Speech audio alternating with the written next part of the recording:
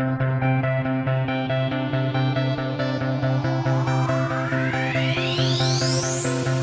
feels like we've been living in fast forward. Another moment passing by.